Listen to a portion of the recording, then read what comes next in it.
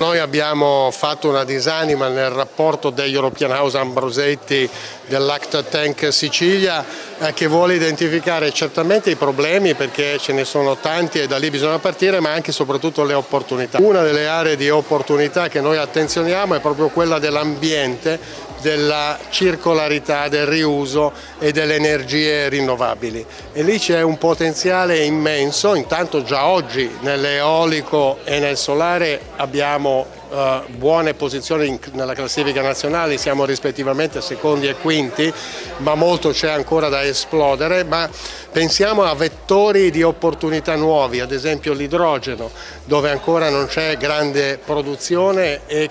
che può essere per la regione siciliana una grande opportunità, pensiamo all'energia dal motondoso, pensiamo all'energia ricavabile dal wind offshore floating, cioè dalle piattaforme eoliche galleggianti, eh, dobbiamo anche preservare le nostre risorse. Voglio anche ricordare nell'ambito diciamo, della valorizzazione del territorio che abbiamo proprio in Sicilia uno dei centri di ricerca sulla biodiversità tra i più importanti d'Europa. La città con la maggior biodiversità d'Europa è Milazzo. Bisogna dare merito a ARPA Sicilia, bisogna dare merito all'assessorato ambiente eh, per il cambio di marcia che è in essere e per le, le, le iniziative importanti che si stanno sviluppando.